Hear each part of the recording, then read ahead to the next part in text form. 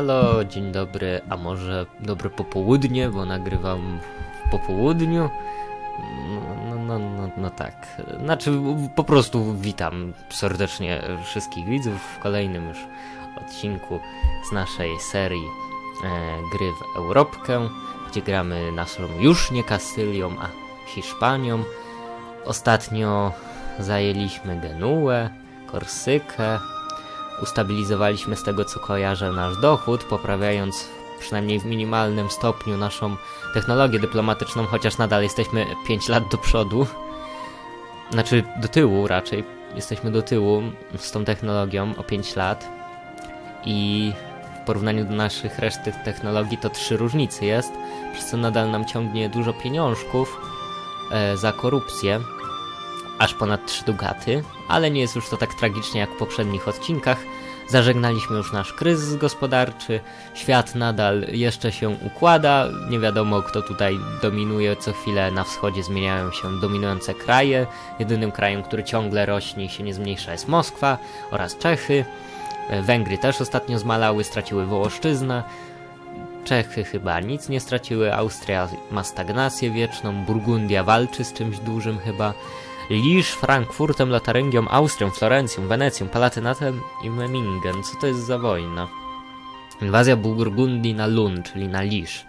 Czyli Burgundia zaatakowała Lisz, który broni Austria i jej sojusznicy. No Burgundio, głupi pomysł, głupi pomysł, gdyż jesteś właśnie ciśnięta. A już cię miałem pogratulować tobie, że jesteś w miarę potężnym krajem, ale chyba właśnie tą potęgę w tej wojnie stracisz. Tak czy siak, odpauzujmy może grę, żeby sobie leciała na tej czwóreczce.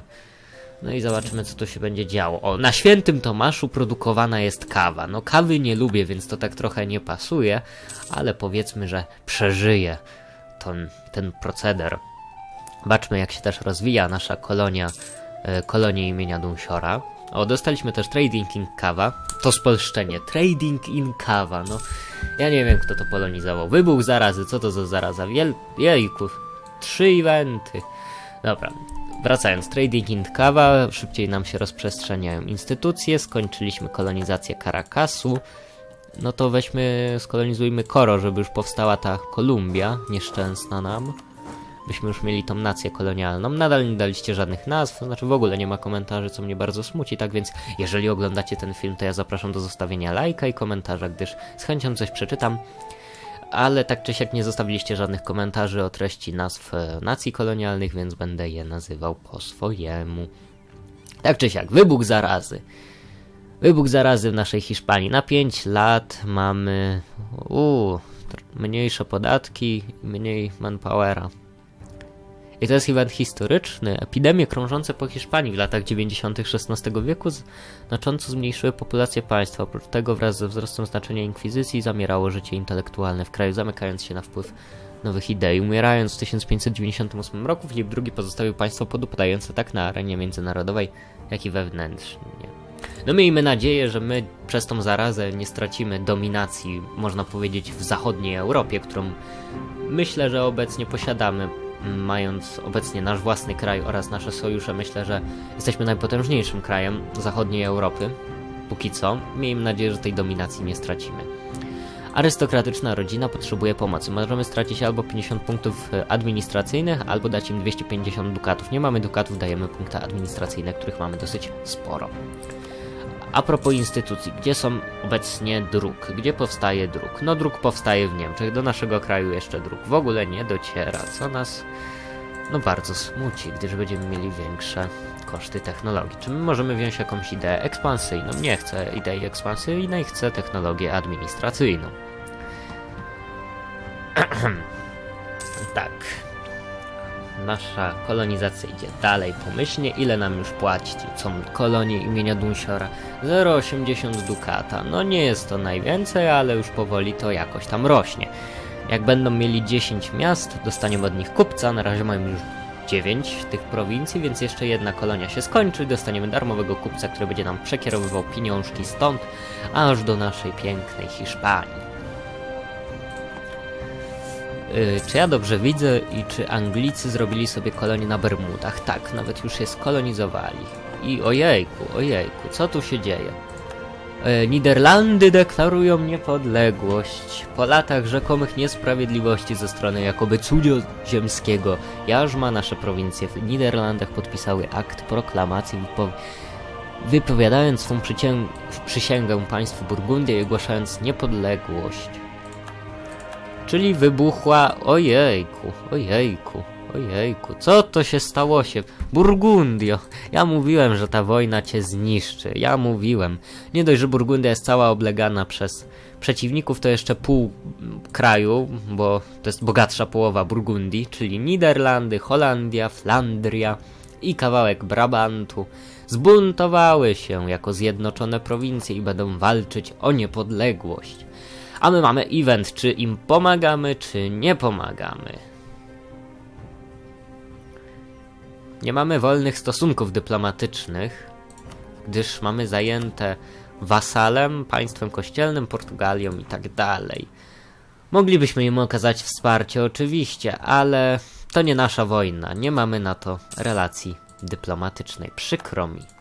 Lisz oddało jedną prowincję do Niderlandów. Niderlandy powoli się powiększają. Utrecht dołącza do Republiki Niderlandów, tak samo jak i Fryzja. Niderlandy stają się dosyć dużym krajem. Być może one odmienią historię Burgundii, być może oni będą spadkobiercami tego upadającego kraju i oni odnowią ich potęgę. Kto to wie?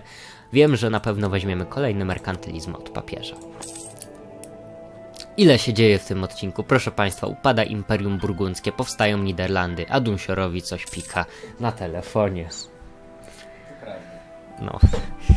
Maroku też kolejne bunty. Ogólnie wiosna ludów, wiosna ludów się dzieje, wszędzie bunty są, tylko że tak troszeczkę wcześniej niż powinna być. Bierzemy technologię dyplomatyczną, już dziewiątą, tak więc będziemy mieli mniej pieniędzy na korupcję wydawane. Ponadto wybuchła wojna domowa w Mołdawii, a już liczyłem, że w końcu ktoś zapanuje nad tą spuścizną Litwy i będzie to Mołdawia, w której obecnie wybuchła wojna domowa. A my możemy wprowadzić cło na kawę. Czy my chcemy podnieść cło u kolonii imienia Dunsiora? Póki co nie, jak będą już rozwinięte, to wtedy będziemy ściągać od nich pieniądze. Póki co zostawmy im troszeczkę pieniążków, ażeby mogli się po prostu rozwijać. Jak idzie nam kolonizacja? Na St. Martin mamy już 593 osadników. Na St. Tomasie 700, w Puerto Rico mamy 359 i w Coro mamy 252, więc bardzo szybko rosną nasze kolonie. Niedługo będziemy mogli, jak skolonizujemy całe Karaiby, prawdopodobnie uderzymy na państwa Majów oraz Azteków, tworząc nasz Meksyk. Będziemy musieli się jednak pośpieszyć, ponieważ już Meksyk kolonizują Anglicy, którzy obecnie też walczą z Burgundią, próbują pewno zabrać tereny graniczące z Normandią. A być może zabiorą nawet Paryż. A my potrzebujemy stabilnego rządu. Możemy stracić 50 punktów administracyjnych albo 10 prestiżu. Mamy dużo prestiżu, więc stracimy to. Potrzebujemy tej nowej technologii administracyjnej. Poza tym jeszcze dostajemy po 40 punktów wszystkiego, a poza tym mamy jeszcze idee, które potrzebują punktów administracyjnych. Tak czy siak bierzemy naszą technologię, dzięki czemu możemy utworzyć więcej stanów. E, na pewno chcę utworzyć stan w Ligurii, ponieważ to jest bardzo bogata prowincja. Oraz chcę na pewno utworzyć stany w Katalonii i Walencji. I nie mogę już więcej stanów utworzyć, prawda? Prawda. Będę mógł skorować jeszcze raz za to Genuę za 130 dukatów, a w Kongo wybuchło coś. W Kongo wybuchło, tylko nie przeczytałem co. Prawdopodobnie chłopi. A Portugalii wypowiedziało wojnę. Co? Bo Portugalio, co ci wypowiedziało wojnę? O, dostaliśmy akceptację tubylców, jak miło. Portugalia, z czym towarzysz? Czarruanie! Gdzie są czarruanie? Portugalio, czy ty walczysz znowu z jakimiś dzikusami i oni ci dadzą znowu w ryj, że tak powiem? Bo ostatnio, nie wiem czy pamiętacie, ale Portugalia przegrała z dzikusami. No cóż, zdarza się. Nasze kolonie pięknie rosną, i wróćmy do Europy. Mołdawia płonie od buntów, Galicja wołyń jest zjadana przez odradzającą się Polskę, która straciła Warszawę i obecnie ma tylko Nowy Sącz. Ja nie wiem, jakim cudem Polska wygrywa tą wojnę. Powinna to już dawno przegrać. Osmanowie przegrywają, powiększa się Dulkadir, nie wiem też jakim cudem Mamelucy mają buntowników, wszędzie bunty, wszędzie bunty. Co to się stało się? Halo, Burgundio, co oni ci zrobili? U, dostaliśmy na Puerto Rico więcej kolonistów, bardzo miło. Ale wracając, Burgundio, co ci się stało? Zabrali ci połowę kraju i Francja powstała na nowo. Francja odzyskała dwie prowincje. Kto chce odbudowywać Francję? Który zły człowiek niszczy Burgundię i tworzy tak niezbalansowany kraj jak Francja? Który? Przyznać się, halo. Ale przynajmniej Burgundia nie ma już jednej wojny. Teraz walczy tylko z Bretanią, Anglią i Szkocją. Więc pewno Bretania może zabrać Paryż teraz i może tak zrobi, oraz walczy z Niderlandami, które albo wezmą te prowincje, które obecnie okupują, albo po prostu wywalczą sobie niepodległość i staną się dosyć potężnym krajem na arenie międzynarodowej w środkowej Europie, ponieważ ile mają obecnie Niderlandy wojska? Niderlandy mają 29 tysięcy wojska, są na poziomie szóstym z obecnie znanych nam krajów. My jesteśmy na poziomie drugim, a najsilniejsze są Czechy. Czechy są najsilniejszym obecnie krajem. No ciekawe nie powiem. A my mamy 400 dukatów, które możemy zainwestować w jakieś budynki i z chęcią to zrobimy. Inwestujemy w budynki w naszym e, rodowitym państwie, a konkretnie teraz industrializujemy Katalonię i Walencję. Mamy 12 dukatów przychodu przez utworzenie tamtych stanów i mamy spór graniczny z Karaibami. No przepraszam bardzo, ale Karaibowie to mnie tak obchodzą jak, nie wiem, jak nic. W ogóle mnie nie obchodzą Karaibowie, więc niech się walą. Mamy 12 i 45 dukatów przychodu, to to już jest bardzo dużo dochodu. To już jest dochód, który powinna mieć nasza Hiszpania. Tak więc jak tylko będziemy mieli pieniążki, inwestujemy w nową flotę. Polska zniszczyła Galicję Wołyń, odzyskała trzy prowincje i powstał jednoprowincjonalny Połock. A arystokracja żąda przywilejów. A dajmy im, mamy tego prestiżu, to zróbmy coś z nim. Dostaliśmy nieprzekupny, bardzo dobrze. Cieszę się. Opowiem wam, ciekawie się patrzy na tą wschodnią Europę, gdy tu co chwilę zmienia się jakiś kraj dominujący, ale brakuje jakiegoś takiego silnego przeciwnika obecnie na arenie międzynarodowej, który mógłby nam jakkolwiek zagrozić. A w Prowansji powstała Prowansja na nowo. Papież nie poradził sobie z buntownikami prowansalskimi i powstał tam kraj niepodległy, który możemy podbić, gdyż mają prowincję ważną w handlu genueńskim, którym obecnie się interesujemy, a St. Thomas jest skolonizowane i dostajemy event Ines de Suarez. Możemy dostać albo doradcę, albo konkwistadora, albo generała. A weźmy sobie dobrego generała, to jest bardzo dobry generał. Halo, armio. Damy ci dobrego generała Ineza de Suareza, albo dajmy tej armii. Proszę bardzo. Dwugwiazdkowy generał zawsze na propsie. Podstawmy naszą armię 10-tysięczną do Langwedocji pod granicę z Prowansją. Miejmy nadzieję, że Prowansja nie dostanie żadnego sojuszu od nikogo. Jeżeli tak się nie stanie, to zaatakujemy ją i przejmiemy jej prowincję. Skolonizowaliśmy również Saint-Martin. Idziemy do Maguany i do Barahony. I będziemy teraz kolonizować e, tą wyspę.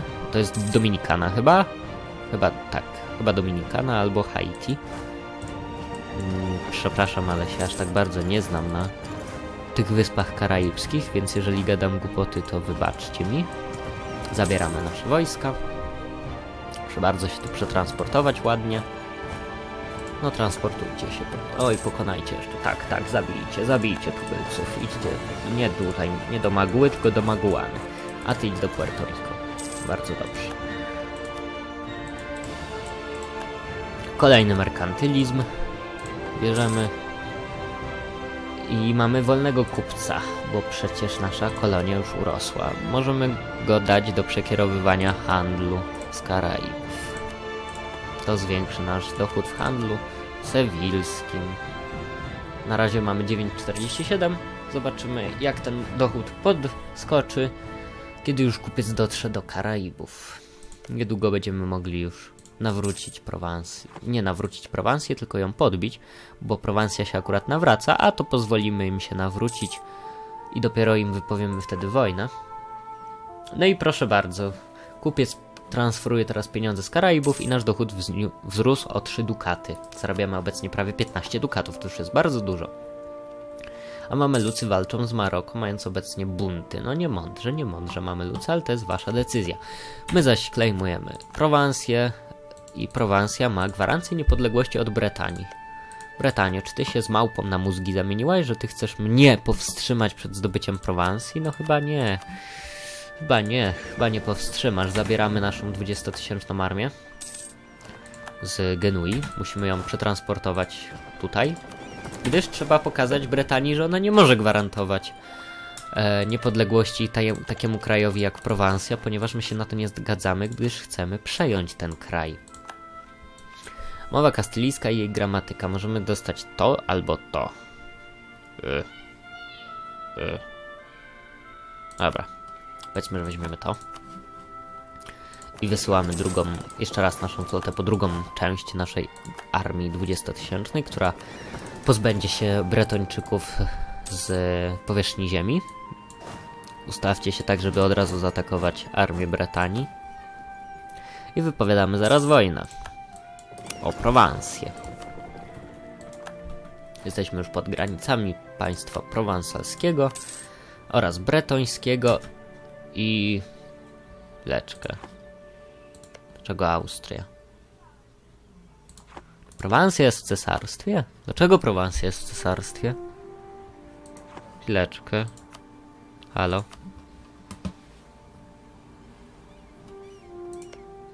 Coś jest nie tak.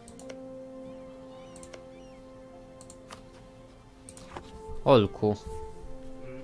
Ta gra mnie oszukuje. To znaczy?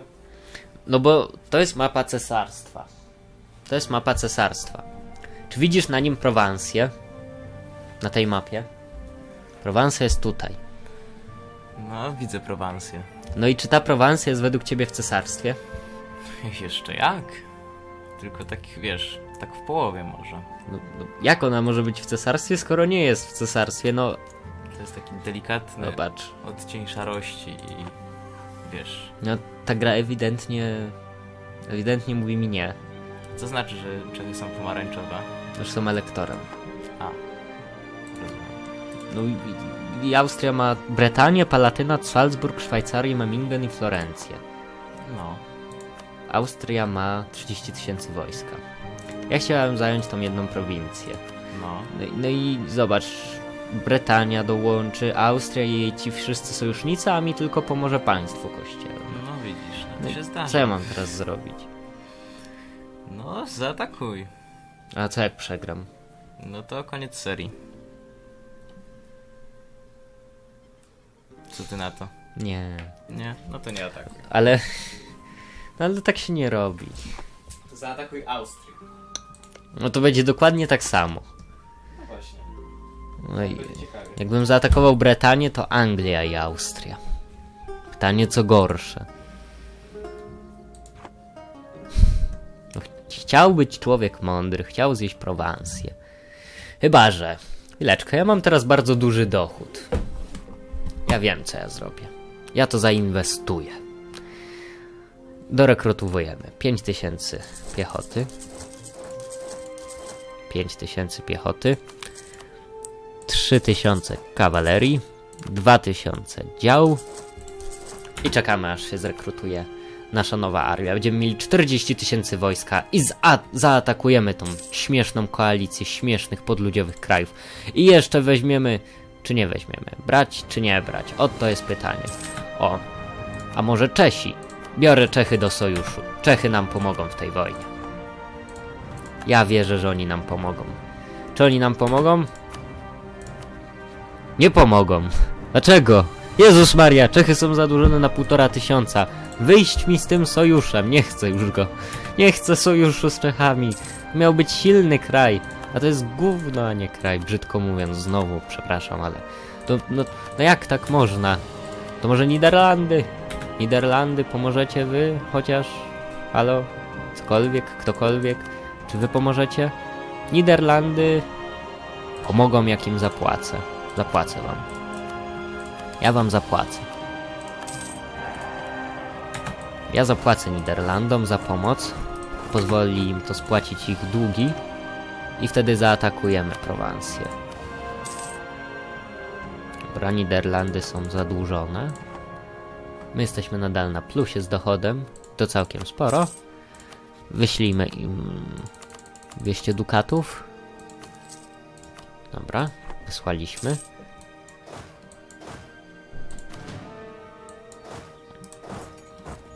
I szykujemy się do wojny. Skolonizowaliśmy Puerto Rico, idziemy na Maguę.